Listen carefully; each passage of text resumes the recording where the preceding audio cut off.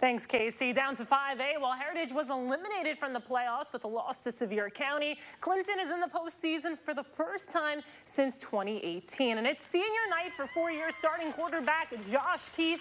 And how about an opening drive touchdown to celebrate? Keith, high and deep over the middle. Wesley Phillips hangs on for the score. Clinton takes an early 7-0 lead, but Heritage answers right back. Wesley Deck keeps it himself, runs it to the outside and over the pylon. Just like that, we're all tied up at seven.